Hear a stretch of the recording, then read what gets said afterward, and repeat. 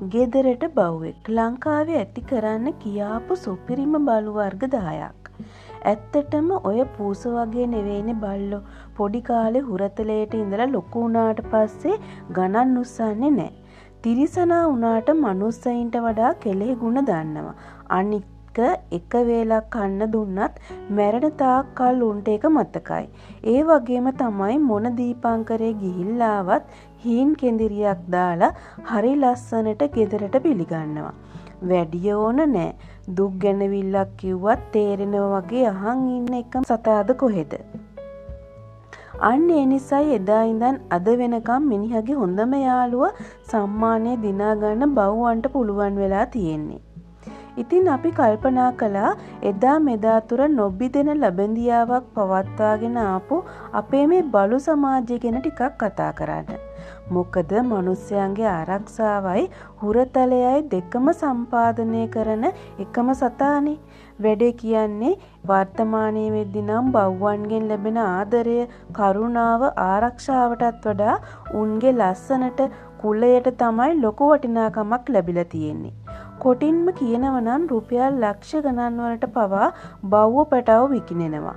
ඒ විතරක් නෙවෙයි සමහර බව්වුන්ගේ දවසක වියදම රුපියල් පන්සියට දෙහා පැත්තේ. අවාසනාව කියන්නේ ගොඩ දෙනෙක් මේ බලු සබ්ජෙට් එක ආස කලාට අපේ රටට හරියන සමන්ට ගැලපෙන බව්වෙක් හොයාගන්න ඒ හැටි දන්නේ නෑ. අන්නේ නිසයි අපි කල්පනා කළේ අපේ රටට වගේම ගෙදර දුරටත් හරියනම බව්ව ටිකක් ඔයාලට කියන්න. ඔය අලුතෙන් බව්වෙක් ගේන්න ඉන්න අයටත් අදහසක් ගන්න පුළුවන්නේ.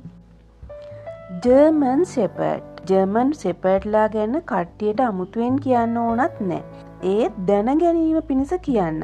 මෙයාලගේ ආයුකාලය අවුරුදු නමයත් දහතුනත් අතර වෙනවා.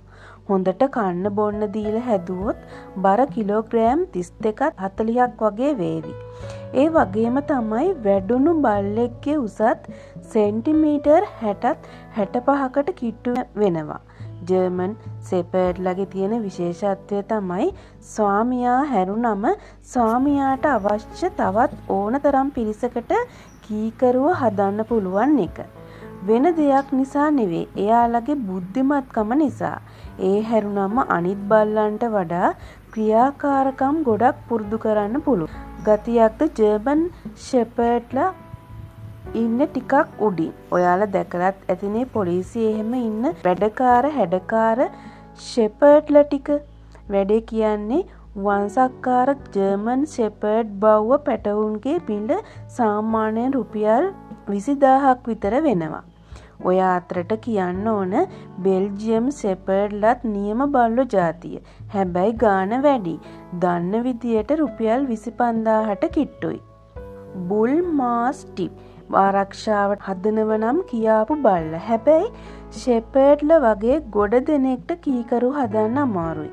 ඒ වුනාට බලන්න එපැයි ස්වාමියයට තියෙන ආදරේ අත්ත තිබ්බොත් ඇඟම කෑලි කරාවි.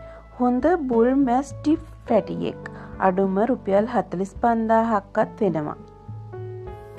හොඳට හැදුණු බල්ලෙක්ගේ උස සෙන්ටිමීටර හැට හයත් හැට නමයත් අතර වගේම බරත් කිලෝග්‍රෑම් පනස් අතරත් පනස් නමයත් වගේ වෙනවා. ඔන්න ෆොටෝ එක උඩින් තියෙනවා. ගන්න හිතනවනම් දැකල බලල හොයල කරලම ගන්නකෝ මොකද හුරතලයට හදන්න නම් එච්චරටම හරියන බල්ලෙක් නෙවෙයිනේ. ගෝල්ඩන් රිටීව ආදරේ හිදෙනව දැක්කප හරිම ලස්සනයි මේ බව්වෝ. ආය බොරු මොකටද හුරතලේට නම් කියාපු වැඩි හරියක්ම පොඩ්ඩන්ට එහෙම සෙල්ලම් කරන්න හරියනව බල්ලු ජාතියක්. එංගලන්තෙන් තමයි මෙයාලගේ සම්භවය පැවතෙන්නේ. ෂෙපර්ට්ල වගේම මෙයාලටත් හොඳටම මොලේ තියෙනවා. ඒ නිසාම ස්වාමියටයි ගෙදර දොරේ අනිත් උදවියටයි එහෙමත් හොඳ කීකරුවට හදන්න පුළුවන්. හැබැයි ඉතින් ෂෙපර්ඩ්ල තරම් ක්‍රියාකාරකම්වලට හුරු කරන්නන් තරමක් අමාරුයි. මේ ජාතිය වැඩ්ඩුම් බව්වෙක්ගේ උස සෙන්ටිමීටර් පනස් හයක් හැට එකක් වගේ වනාට බර කිලෝග්‍රෑම් විසි නමයත් තිස් හතරක් අතර වෙනවා. ඔට්ටුයි ඔයාලට හිතෙන්නවත් නෑ මෙයින් බව්ව පැටිය කෘපියල් තිස් පන්දාහක් විතර වෙනම කියලා. රොඩ් වයිල හදනවනම් අන්න බල්ලෝ. පට්ට ඩිමාන්ඩ් වෙන දෙයක් නිසා නෙවෙයි ආරක්ෂාවයි ස්වාමයට තියෙන ආතරයයි නිසා. මෙයාලවත් ඔය එක එක්කෙනාට හුරු කරන්න අමාරුයි. හැදුවොත් ස්වාමියාටමයි. තව ළඟ එක්කෙනෙක් දෙන්නෙක්ට තමයි කීකරු. අනික හරි දරුණු පෙනුමක් තියෙන්නේ. දැක්කත් බයවෙන සයිස්. රොට් වයලගෙන් සම්භවය ජර්මන්. වැඩුණු රොට්වයිල කෙනෙක්ගේ උස සාමාන්‍යයෙන් සෙන්ටිමීටර් හැට තුනත් හැට නමයක් වගේ වෙනවා. බරත් කිලෝග්‍රෑම් හතලිසටත් හැටත් අතරේ. හොඳ රොට් පැටියෙක් අඩුම රුපියල් විසිපන්දාහක් වගේ වුණාට වර්ධන වියදම ටිකක් වැඩි නිසා කල්පනා කරලා බලල ගන්න. ඩොබර්මන් පින්ෂ ඔන්න තවත් ජර්මන් බල්ලෙක්. හුරතලයට කෙසේ වෙතත් ආරක්ෂාවට නම් කියාපුත් දැක්කල එහෙම ඇතින ඔය කළුපාටට උසට උසේ ඉන්න ඩොබර්මන්ලා කොහොමද බිරිල්ල එහෙම ඇහුනම්ම දුවනවා නෙවෙයි දිවෙනවා හැබැයි ඉතින් සතා මෝඩයි ෂෙපර්ඩ්ල වගේ නම් නෙවෙයි හොඳට හැදුණු ඩොබර්මන් කෙනෙක්ගේ උස සෙන්ටිමීටර් හැටක් හැත්ත දෙකක් විතර වෙනවා. හැබැයි බරනම් කිලෝග්‍රෑම් තිස් පහයි හතලිස් පහයි අතරේ. ලංකාවෙන් ගන්නවනම් පැටිය කෘපියල් දහදාහකට වනත් ගන්න බැරිකමක් නෑ. ලැබ්‍රඩෝ නිවෆවුන්ලන්ඩ් සම්භවයක් තියෙන ලැබ්‍රඩෝස්ලා ආරක්ෂාවටයි හුරතලේටයි දෙකටම කියාපු සුපිරි බල්ලො ජාතියක්. හැරත් හරිම ලස්සනයි එක්කනේ හැබැයි ගොඩ දෙනෙක්ට කීකරු වෙන්න හදන්න පුළුවන්. ඒ වගේම තමයි ගොඩක් ක්‍රියාකාරකම්වලට හුරු කරගන්නත් පුළුවන්. පොලිසියේ වැඩකටයුතුරට පවා ගන්න බල්ලෙක් තමයි. හොඳ ලැබ්ඩ්‍රෝ පැටිය කෘපියල් තිස්දාහක් වගේ වෙනවා. හැබැයි ඉතින් ඒ ගානට පාඩුත් නෑ. මොකද හැදුනට පස්සේ බර කිලෝග්‍රෑම් තිස් දෙක තිස් හයක් වගේ වෙනවා. උසත් සෙන්ටිමීටර් හතලිහත් පණහක් වගේ අතරනේ. පිට්බුල් ලෝකේ ඉන්න සැරම බල්ලො ජාතිය අතරිනුත් උඩින්ම ඉන්න ජාතියක් තමයි. ඒ නිසාම හැදුවොත් එකයි. කීකරුත් එක්කෙනෙක්ට විතරයි.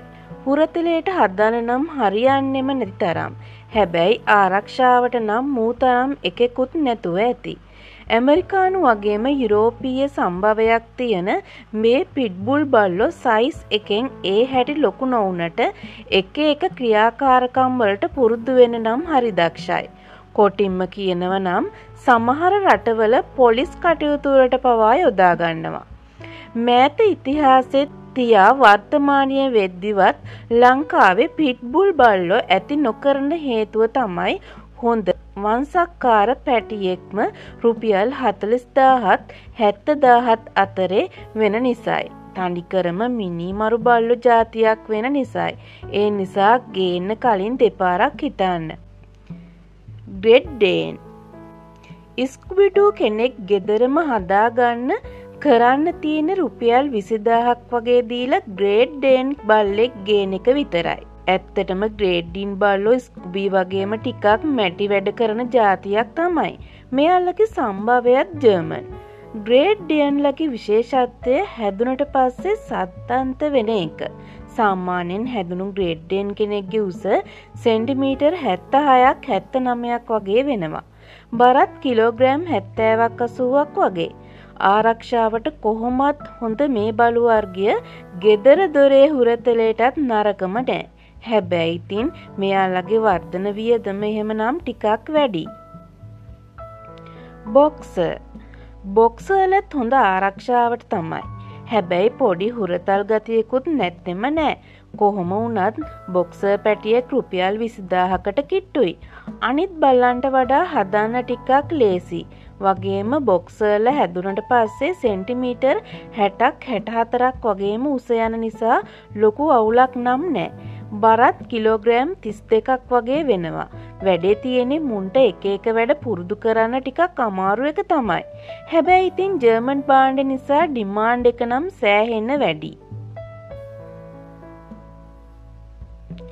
රිච් බැක් දකුණු අප්‍රිකානු සම්භවයක් තියෙන රිඩ්බැක් බල්ලොත් සෑහෙන්න ලොකු ඩිමාන්්ඩ එකක් තියෙන ආරක්ෂාවට කියාපු බල්ලො ජාතියක්. හුරතලේ කෙසේ වෙතත් මෙයාල හුරුවෙන්නේ නම් ස්වාමියාට පවුලයාටයි වගේ විතරයි. එක එක ක්‍රියාකාරකම් පුරුදු කරන්නත් එච්චරම හරියාන නැතිවුණාට රිච් බැක්ල දඩයම් බැඩට නම් සුපිරි. හැද්දුණු රිච් බැක් කෙනෙක්ගේ උස සෙන්ටිමීටර් හැටහයක් හැටනමයක් වගේ වෙනවා. බර කිලෝග්‍රෑම් තිස් දෙකත් තිස් හයත් අත තමයි. හොඳ පැටියෙක් රුපියල් විසිදාහක් වගේ වුණාට හදන්න ලොකු වියදමක් යන්නේ නැති නිසා දෙපාරක් නොහිතා වුණත් ගේන්න පුළුවන්. හැබැයි එකක් මතක තියාගන්න. අපි ඔය කිපු බලු ලැයිස්තුවේ ලෝකෙ දරුණුම බල්ලො දහ දෙන අතර ඉන්න බල්ලොත් ඉන්නවා. ඔය පිට්බුල් වගේ ඒ නිසා පරිස්සමට හදන්න හොඳද. මොකද ගෙදර බල්ල කෑවට කවුරුත් වග කියන්නේ නෑනේ අනිත් කාරණය තමයි අපි මේ කියපු විස්තරවල වැරදි තියෙනව නම් නිවැරදි කරන්න ඔයාලගේ සපෝට් එකක් ඕන. ඉතින් අවසාන වශයෙන් එක දෙයක් කියන්න ඕන. ඔය ආසාවට පොෂ් එකට දස් ගණන්දීල බල්ලෝ හැදුව වගේ නෙවෙයි. පුළුවන්නම් පාරතොටේ ඉන්න අසරණ බව්වේ කරන් හදාගන්න. එහෙම අවුල් නම් ඔය එම්බාක් වගේ තැනකින් අරන් හදාගත්තට කමක් නෑ. මොකද යනකොට ගෙනියන්න තියෙන්නේ පොෂ් එකයි ඩිමාන්්ඩ එකයි නෙවෙයි. කරපු පින්ටිකනේ